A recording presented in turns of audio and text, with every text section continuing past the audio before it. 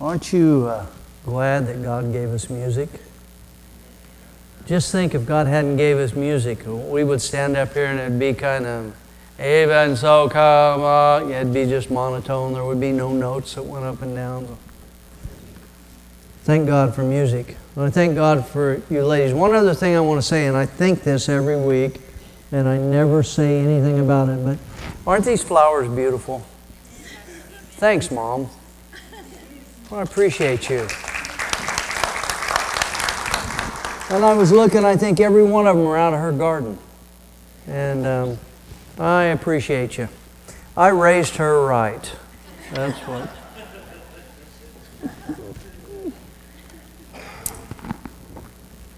You know, um, have you ever been around somebody that talked the talk, but they didn't walk the walk?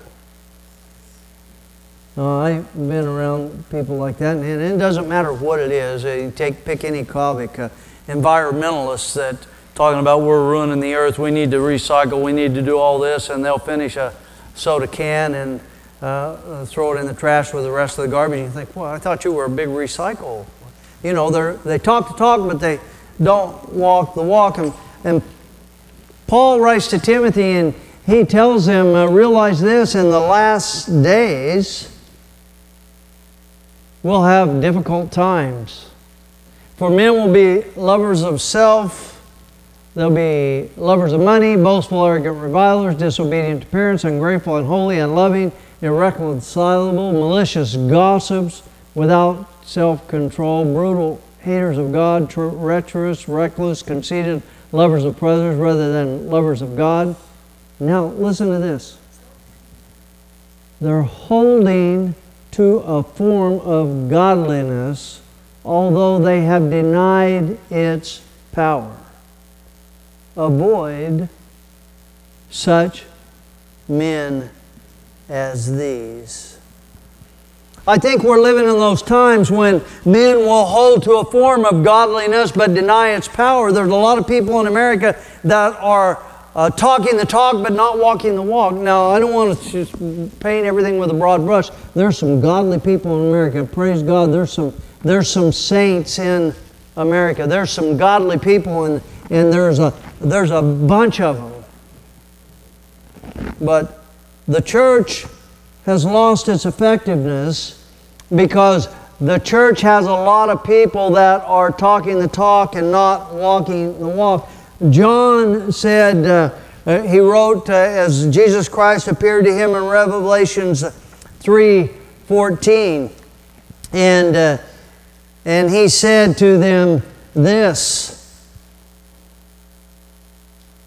He he said that there were going to be lukewarm Christians that had a lack of commitment, and uh, and Jesus said to them, Because you're neither hot nor cold, I'm going to spit you out of my mouth.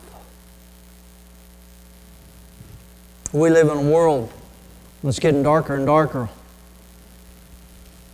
more and more evil. And that's not just in America, that's around the world.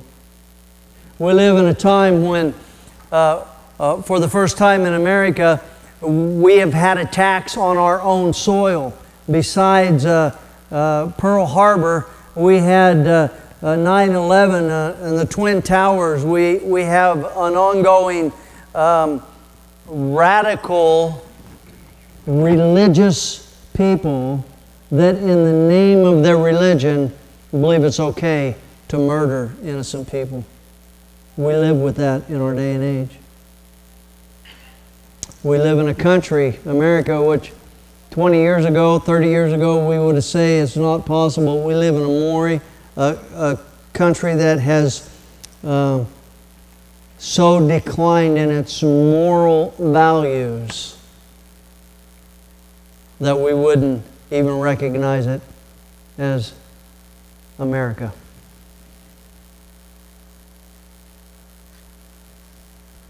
God wants our first fruits.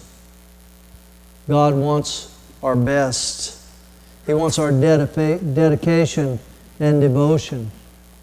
That requires a commitment. Commitment to following Jesus. And it demands that we make choices.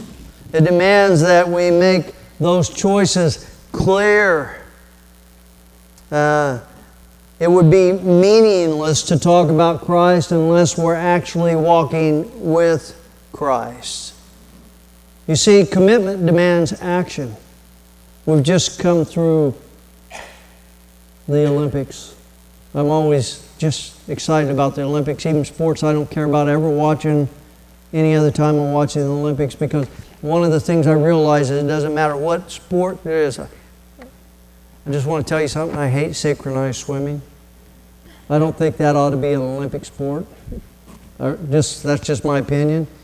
But when you think about the dedication and commitment it takes for those synchronized swimmers to do what they do, you've got to have some kind of appreciation for um, the demands on their physical bodies that they met to do what they do. Commitment demands action. It also demands responsibility. You see, one of the things that happens is our commitment to Christ limits our choices. Our commitment to Christ has to cause us not to compromise. And just quick, I don't want to go too long. I told Michaela I was going to preach about two hours today, and, and her eyes got about that big around. But this is, a, this is an important topic, and it's uh, we're going to preach on Daniel chapter 6, the whole chapter. There's 28 verses, and we're not going to go verse by verse, but there's some things there I want us to look at. And, and there's a, uh, in the Bible, um, in Nehemiah 13, uh, there's a compromise there that interrupted everything about the worship of God. You see, there was a, um, a guy that was a leader of Samaria named Tobias. And the high priest gave him a room in the temple to live. And the, the room that he gave him was the place where they stored the tithe, they stored the grain offering, they stored the utensils for the priests to use in service to the Lord. You see, the high priest compromised and because of compromise, the worship of God ceased. Uh, they began buying and selling. They began intermarrying. They began doing all kinds of stuff that God had forbid them to do because of compromise. And so, I want us to understand going into this passage, compromise is the opposite of commitment. Commitment builds faith and it builds character. It causes us to work with a determination. Eh, is it even possible to live for Christ 100% committed? Yes. We have examples in the Bible. Peter. Now, one time Peter denied Christ, but as you go past that to well, day of Pentecost, Peter Peter never backed up again. In fact, uh, tradition says he was crucified upside down for Christ. And Paul, and I'm, I'm not going to go into a lot of detail, but Paul, and uh, we've been going through Acts, Paul constantly marched into a, a city, preached the gospel, and got beat up for it, thrown in jail, marched right to the next city, did the same thing. Commitment. Commitment to Christ. He was jailed, beaten, starved, stoned, ridiculed, run out. And finally, he was killed. Same thing happens today. There's a lot of Christians today that are being persecuted, not in America, but in other countries. They're being beheaded, tortured, killed. Daniel began as a youth. If you go back to the very first chapter of Daniel in verse 8, it says that, uh, and Daniel made up his mind that he would not defile himself with the king's wine or the king's choice meat. He made up his mind that he was going to be committed. And in Daniel chapter 6, he's in his 80s, and his commitment's still strong. I want to say that now, today, more than any other time in the history of the world, God needs committed Christians. Daniel chapter 6, verses 1 through 28, Daniel is an example of commitment. Now, I really I don't want to take the time to read all 28 verses, but we're going to go through and we're going to pull out a few verses that, and I want to talk about Daniel and what made him such a strong believer in God. First of all, it was his dependence on the Spirit. If you'll look at verse 3, then this Daniel began distinguishing himself among the commissioners, satraps, because he possessed an extraordinary spirit. And the king planned to appoint him over the entire kingdom. One of the things that we find as we read the Bible in the Old Testament is that well, the Holy Spirit enabled men to do what God had called them to do. And, and you can go back uh, uh, as far as you want and, and, and go forward as far as you want, and you find out that God overwhelmed people with His Spirit. One of the things is you read uh, about David, and it says, and the Spirit of God came upon him, and he did what God wanted him to do. Constantly, the men of God, the Spirit of God came upon them and, and enabled them to do what you wanted to do. Daniel expressed a, possessed an extraordinary spirit, and the spirit he possessed was a spirit of God. God has given us his spirit, in fact, the Bible tells us if we don't have a spirit, we don't belong to Him. God has given you His Holy Spirit to enable you to do what He has called you to do. Do you possess an extraordinary spirit? Yes, you do. Ephesians 5:18 the scripture tells us that we're not to be drunk with wine, but that we're to be filled with the Spirit. That's a command. And in order to be filled with the Spirit of God, we have to uh, push our fallen spirit in the corner and allow the Spirit of God to reign in our lives. Paul said this in Galatians 2:20, I've been crucified with Christ, and it's no longer I who live, but Christ liveth in me. Spirit of God lives in you. He said,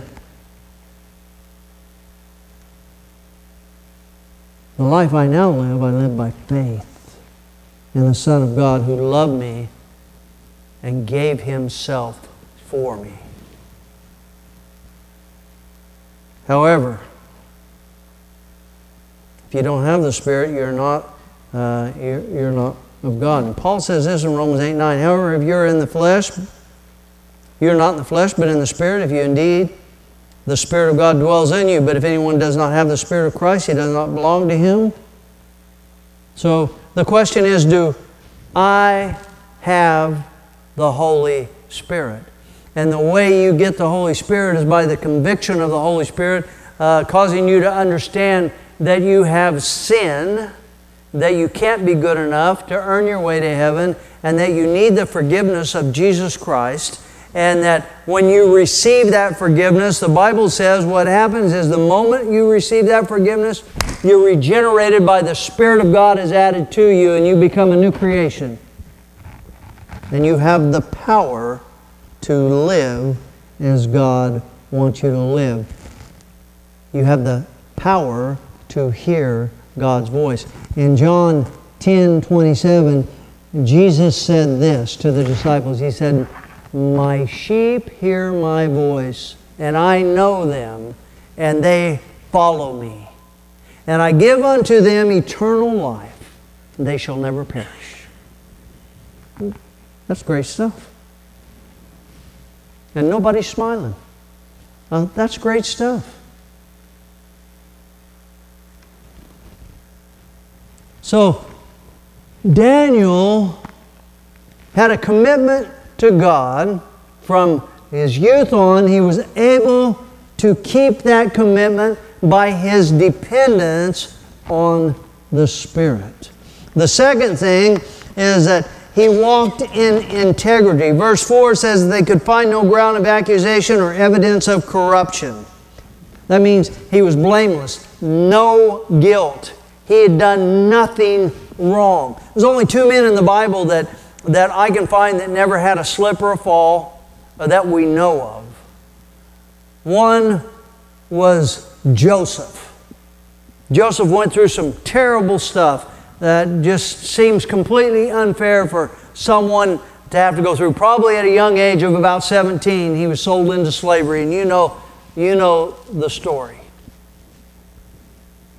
But it never says anything. It never says anything about Joseph doing anything uh, other than trusting God.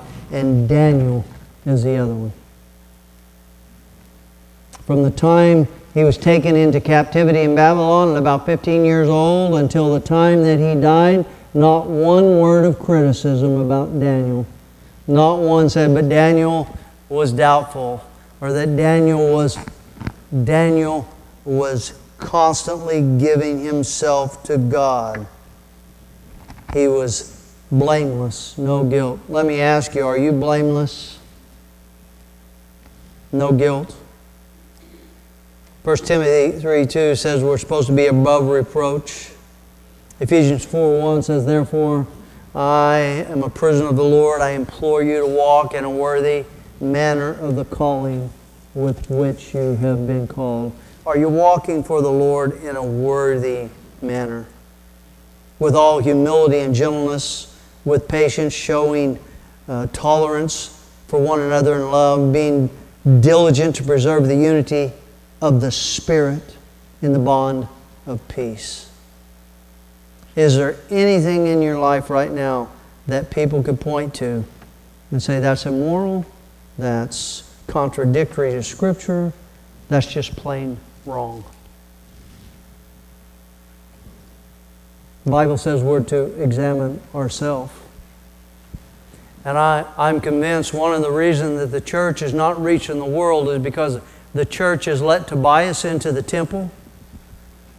Uh, we've compromised our, our beliefs because uh, the world is so terrible, we think it's okay to relax and kind of do some things that are a little edgy, maybe not according to Scripture. And what the world does is they look at us and they said, Ha ha, I knew it was a bunch of garbage. Because if what they say they believe, they really believe, they wouldn't do what they're doing. Compromise integrity. Can't live in the same house. The third thing that I want us to look at in these 28 verses is found in verse 4.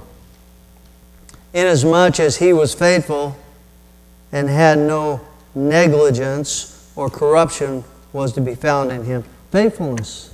Daniel was faithful. He, uh, he was full of faith. He, it means trusted to believe, to be sure. He was faithful, not negligent, not apathetic, not indifferent. He was committed to the God that allowed him to be taken into captivity in Babylon, stripped of his parents, his relatives, his friends, taken to a strange country put in uh, service to a pagan king, yet he still trusted the God that allowed that to happen in his life. That, that's amazing. That's faithfulness. Faithfulness. Hebrews 11:1 Faith is the assurance of things hoped for, the conviction of things not seen. It's easy for us to have faith in the things we can see, feel, and touch. But real faith is put into things we can't feel, we can't see, and we can't touch. The God of the universe. Have you ever attempted to do something that, unless God supernaturally intervened, it wouldn't happen? Without faith, it's impossible to please God. We hear all the time, I do anyway.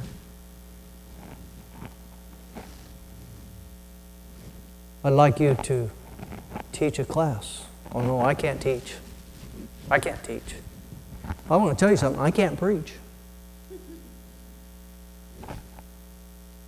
Uh, I can't. I never could. Uh, I wasn't born a preacher. Um, ask Donna. Um, first time I preached, I couldn't string two sentences together. But God called me to do that, and I couldn't be standing here today, now in this place, if it wasn't for the grace of God that forgave me of who I was and put me in a position He wanted me to be in. Only by God's power that happened.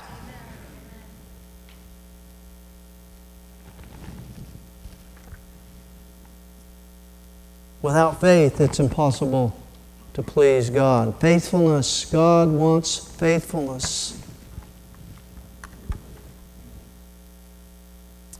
One of the things that we find is that Daniel obeyed God's word.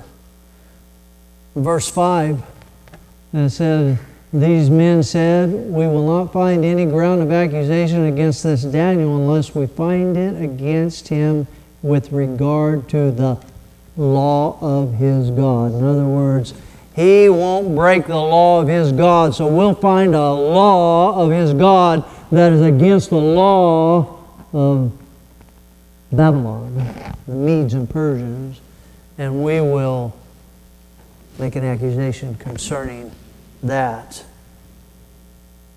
You see, Daniel only had the law of Moses, the first five books of the Bible Genesis, Exodus, Leviticus, Numbers, and Deuteronomy. He, he lived according to those. Uh, there's more laws. Have you ever read Leviticus? Make your head swim. There's so many laws and subsets in there. But Daniel also had the prophecies of Jeremiah. In Daniel 9 2, it says that in the first year of his reign, I, Daniel, observed the books of the number of the years which were revealed as the word of the Lord to Jeremiah the prophet for the completion of the desolations of Jerusalem, namely 70 years. So I gave my attention to the Lord to seek him by prayer and supplications with fasting in sackcloth and ashes. Did you catch that? The prophecies of Jeremiah, Daniel had written down. And he didn't understand what the prophecies were saying, and so he prayed, fasted, sackcloth and ashes. That's as serious a prayer as you can get in prayer. Because he wanted to know God's Word. Have you ever had that kind of hunger for God's Word? I want to tell you, I would like to see if we ever had that kind of hunger for God's Word in America, and, in the, it would change the world. One of the things that we hear is like, I can't make it to Sunday school. That's too early. It's 9 o'clock. That's way too early. Sunday morning at 9 o'clock, I can't go study God's Word at 9 o'clock. I want to sleep. Wednesday night, Bible study. I'm tired through the week. I can't make it to one. And prayer, I don't know what to pray.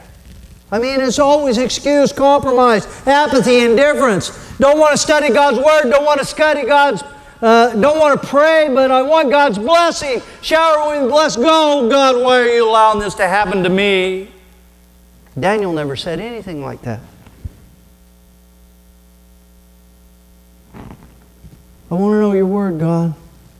I don't think there's any benefit in it for me. I don't think I'm going to get out of captivity. I don't think any of that thing's going to. I just want to know your word because I want to know you. Hunger. He was completely obedient. He studied the scripture, he lived the scripture, he was obedient to the scripture. Are we obedient to the scripture? Well, I don't know. I don't know the scriptures that well. Well, the, what, what scriptures you know? Uh, Hebrews 10.25 says, go to church. Uh, that's shorthand. Basically, it says, do not forsake the assembling of yourselves together as the habit of some, but encourage one another all the more the day draws near. Uh, what it says, go to church. Do you do that? Acts 1 8 says, You shall be my witnesses. Where? Everywhere. Do you share Christ? Philippians 2 3 and 4 says, Consider others' needs before your own. Malachi 3.10 says tithe. And you could go on and on and on. And, and the, the truth of the matter is that we all know all kinds of commandments from God's Word, and some of them we just choose to ignore.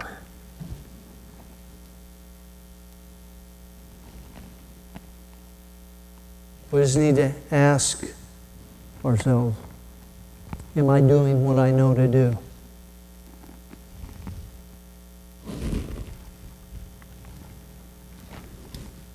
The last thing is pray.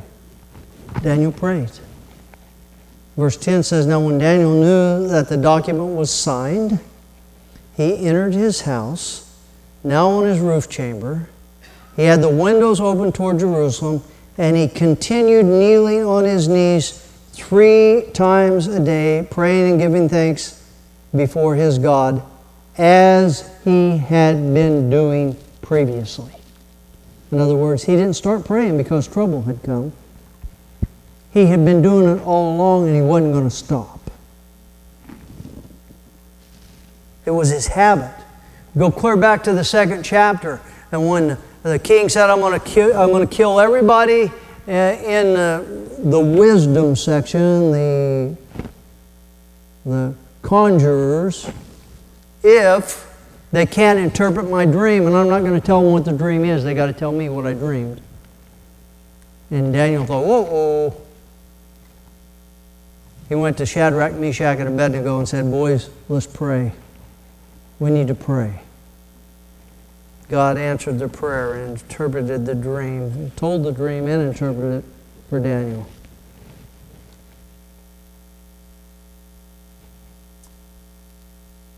You see, Daniel knew the king's order, what this verse is saying. Daniel knew there would be consequences and he prayed anyway. Luke 18 1. Jesus told a parable about how we ought to pray at all times. And Paul wrote to Timothy in Ephesians 6 uh, 18 or 19, and he said, Pray at all times for all people. Pray. All through the Bible talks about prayer. Commitment, committed people pray. They do all these things. The result of Daniel's commitment, you, you know, we're getting to the part of the story everybody knows. Because he knelt down and prayed, accusations were brought, and because the king couldn't reverse his order, his law, he had to throw Daniel in the lion's den. And then the the king didn't want to do that because he was fond of Daniel. So, at the end of the specified time, he brings Daniel out of the lion's den and he asks, and Daniel says this. He said, My God sent his angel and shut the lions' mouths, and they have not harmed me, inasmuch as I was found innocent before him, before God, and also toward you, O king. I have committed no crime. God delivered him from the lion's den. Does that mean that we will never experience hurt or disappointment? No. You see, we're talking about Daniel being delivered from the lion's den, but do you realize that Daniel, as a young man, trusted God and he was, he was basically given into captivity in Babylon? So he, he had hurt in his life, he had disappointment in his life. And you and I are going to go through some of those same hurts and disappointments. We're going to be let down. But God delivered him. Does it mean that I can put myself in dangerous positions because I trust in God? No. It doesn't. What it does mean, though, is that no matter what happens to us, no matter what situation we find ourselves in, I don't care what it is, we are divinely protected by God. You mean I won't die? No, you may die, but if you die, God's got a place for you in heaven.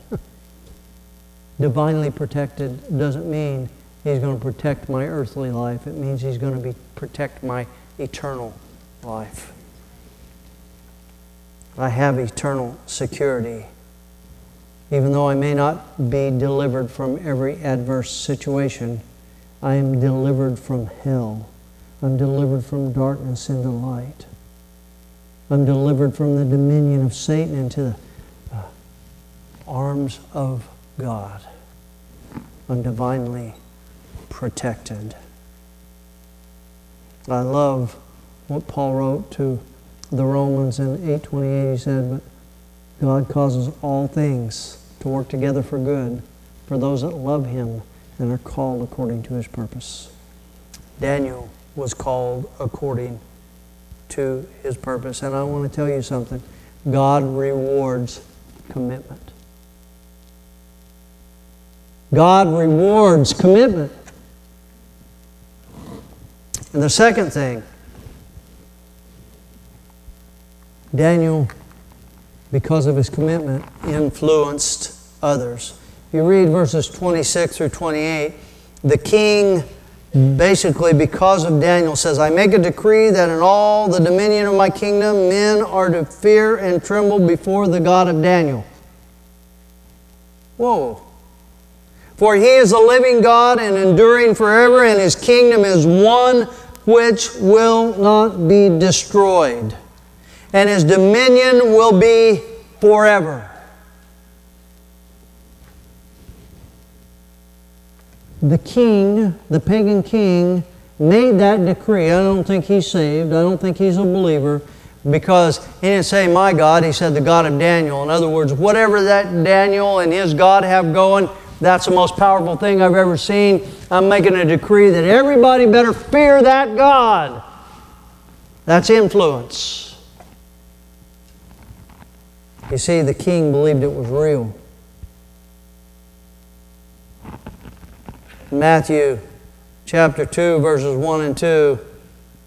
Now, after Jesus was born in Bethlehem of Judea in the days of Herod the king, Magi from the east arrived in Jerusalem, saying, Where is he who has been born King of the Jews? For we saw his star in the east and have come to worship him. Uh, when I was uh, up at camp, uh, children's camp, uh, well, they had bonfire. First time I ever been to a bonfire, and the first bonfire I ever went to, Arnold brought the, uh, the Bible story that night, and, and he talked about those verses right there. And, and he said, How did they know to go? And he went clear back to Daniel because Daniel had had such an influence in Babylon, and these, uh, these guys were from Babylon. And they understood because Daniel told them what was going to happen when they saw that star in the east. Influence that lasted probably 500 years and caused the wise men to come and bring gifts to Jesus and worship Him. Influence because of commitment. Daniel's commitment won over the, the king, showed the power of God, turned that Babylonian kingdom toward God, maybe not to God, but toward God. I want to ask this question What can one person do? One person operating in the power of God can do anything God wants him to do. We see one man here, because of his commitment to God, that turned the whole Babylonian kingdom toward God.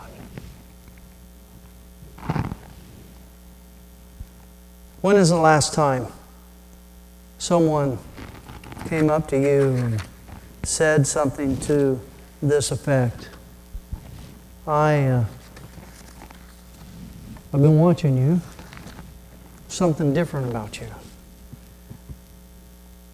I saw you going through that problem you had, and, and you still had an upbeat attitude. You still had a kind of a countenance about you. What is it? And you say, I have Christ in my life. He loved me and He forgave me of my sin. And He loves you and wants to forgive you of your sin too. And you can have that same kind of joy that you see in me, in you. When's the last time someone has said to you, listen, um, I know you're a believer, and there's something about you I want for myself. I don't know. I don't know how to go about that. Because of your influence, because of your commitment to Christ, that you live out your life with integrity and faithfulness. Extraordinary spirit.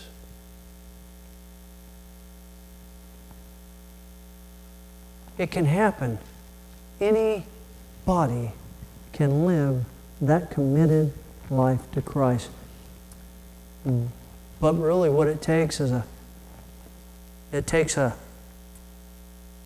Daniel moment where you say, I'm going to make up my mind that I'm not going to defile, defile myself with the world.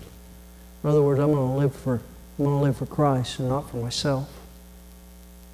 We're going to stand, we're going to have an invitation. I, I believe with all my heart that God has spoken to someone today and you need to make a decision for Christ. And I don't know what that decision is. Uh, it may be that you need to invite Christ into your heart. You've never done that before. Maybe that you say, you know what, I invited Christ in my heart. No doubt in my mind that if I were to die today, I'd be in heaven. But I haven't been living out my life in committed relationship with Jesus Christ, and I want to do that. I want to start today living for the Lord and not for myself.